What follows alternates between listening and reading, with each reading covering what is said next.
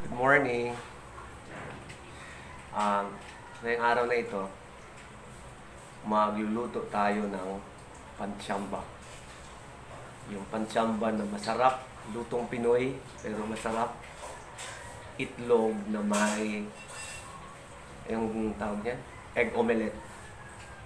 Itlog na may sibuyas, kamatis at bawang. Tapos magpiprito tayo ng tuyo. O di ba? Wala lang, nag-rip lang ako. Tapos, ano ba ba? Ah, yun lang. Luto tayo. Tara, punta tayo palengke.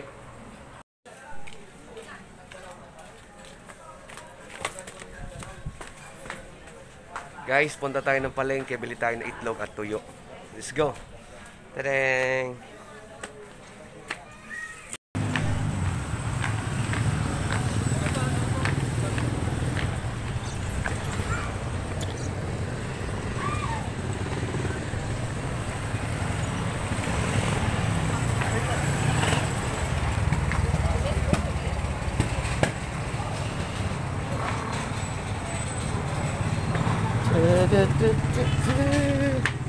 Magkano ang kamatis ko ya?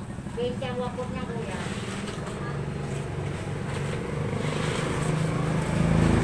Chidit, chidit. Ito. Basta perasa? Oh. Sampo. Ano ba?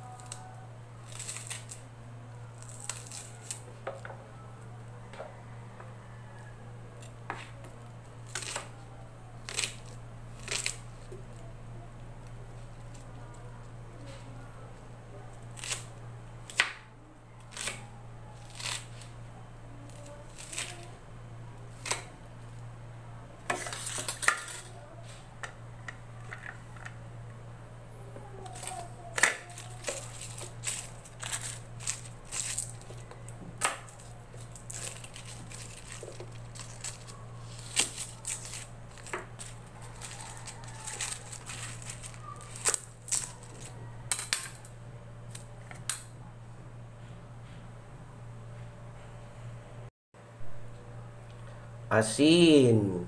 Tapos, magic syrup.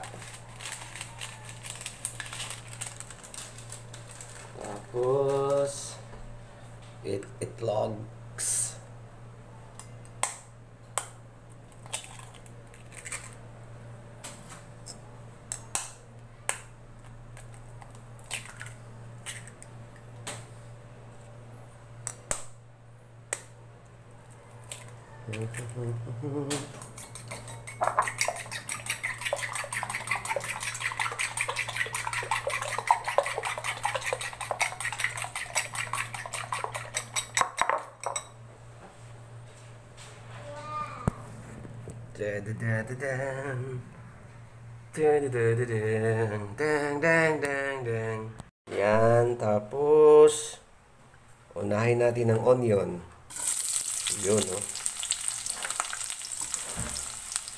Tapos garlic.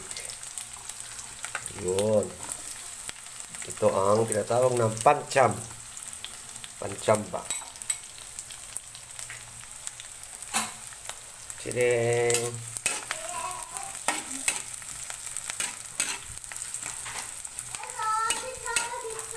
Panchamba. Ha, ha, ha.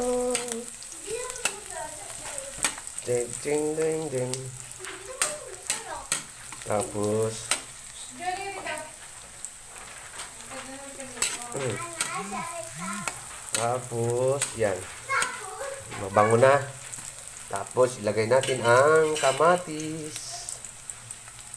Kailangan anuhin mo natin yung kamatis. Maluto siya para yung lasa niya ay ah, lalabas talaga yung lasa. Okay? Kamatis. Yun. Ito ang tinatawag na egg omelette pancham. Pancham. Sobrang dali. Ang bango ng ano, garlic.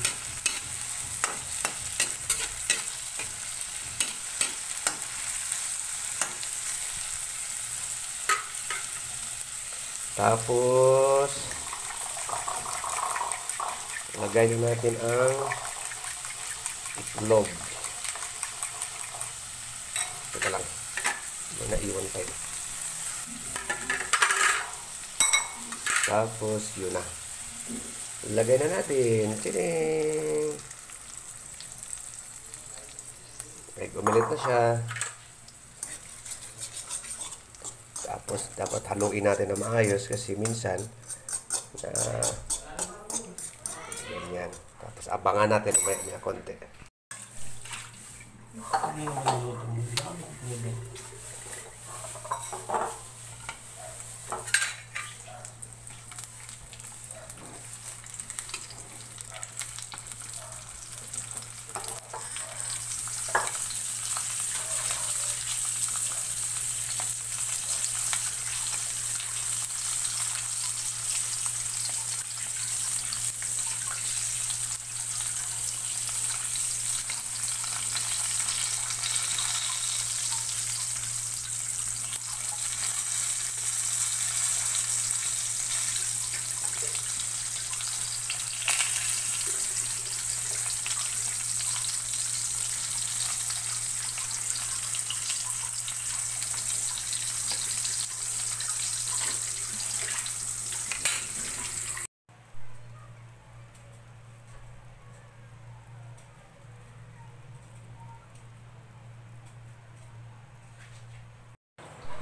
Maraming salamat po sa mga nanood ng aking ah, panchamba recipe. Ah, yun lang kasi madali sa akin eh, prito. Walang iba. So, susunod, try ko naman yung ano, try ko naman yung mahirap. Hindi kasi wala ka wala kasi akong ano eh, yung tripod ako may tripod ako para ma-focus talaga yung ano, yung luto. Wale. Pero okay na yun. So yun po yung aking brunch, pinagsamang lunch at breakfast. So I call it brunch. Maraming salamat po sa inyo. Huwag kalimutan subscribe ang aking channel. At pakishare na lang din po ng aking video kung sakasakali. Maraming salamat po sa inyo. God bless.